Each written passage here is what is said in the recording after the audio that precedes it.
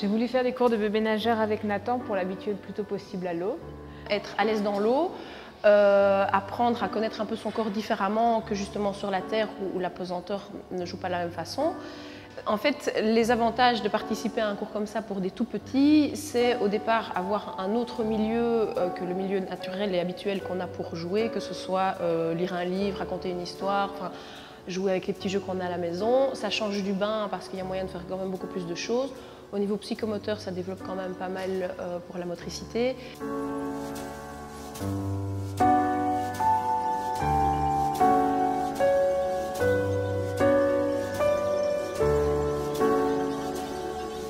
Le bébé, ben, je pense que déjà c'est une manière de se dépenser quand ils sont tout petits et qu'ils sont pas encore mobiles. Parce que moi j'ai commencé très tôt, j'ai commencé à trois mois euh, et moins de jours, donc j'ai commencé vraiment très tôt.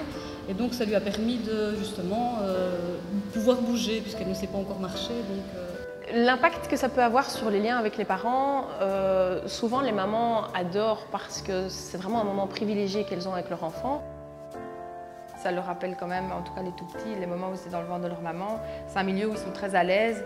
Je sens déjà qu'il se détend mieux dans mes bras, par exemple, que dans les, les bras d'Aurélie. Il laisse mieux aller ses jambes, plus décontractées, etc. Je pense que ça joue beaucoup de le faire avec son enfant.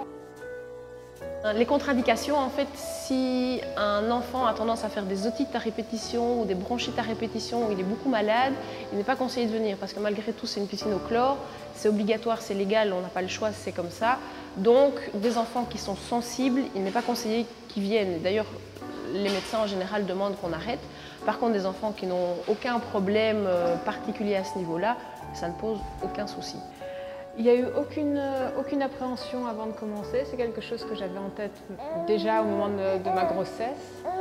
Son papa aussi. C'est quelque chose qu'on veut aussi de faire de temps en temps à, à trois quand c'est possible. Non, il n'y avait vraiment aucune appréhension. C'est une piscine qui est faite pour ça avec des moniteurs spécialisés. Donc... C'est plus rassurant pour les parents d'être encadrés. Et puis euh, quand on va pour la première fois avec un enfant de trois mois dans l'eau, en général on ne sait pas trop quoi faire avec lui. À trois mois, c'est vraiment être à l'aise dans l'eau, leur faire comprendre que c'est quand ils vont bouger un peu les jambes qu'on va pouvoir nous-mêmes avancer ou, reculer. C'est vraiment du coup les prémices aussi pour de nouveau la natation après. Donc les critères pour pouvoir faire un cours de bébé nageur et avoir une piscine où, se donnent ces cours, c'est euh, avoir une eau un minimum chauffée. Je dirais au minimum 30 degrés parce que sinon c'est vraiment trop froid pour les enfants et ils ne supportent pas. Avoir ici, nous avons des contrôles très réguliers. On a minimum une fois par mois un laboratoire qui vient tester la piscine. C'est pas dangereux pour les enfants d'aller euh, la tête sous l'eau parce qu'ils ont une apnée automatique, mais elle se fait surtout au niveau de la glotte et donc euh, ils ont d'office de l'eau dans la bouche, donc parfois ils crachent un petit peu d'eau en sortant, mais ils sont tout à fait en apnée. C'est pour ça qu'ils ont la bouche ouverte parce que l'eau rentre quand même dans la bouche, mais par contre ils n'avalent pas l'eau. Euh. Sinon, on peut commencer un peu à tout âge, en sachant qu'on peut commencer à partir de trois mois une fois que les premiers vaccins sont faits.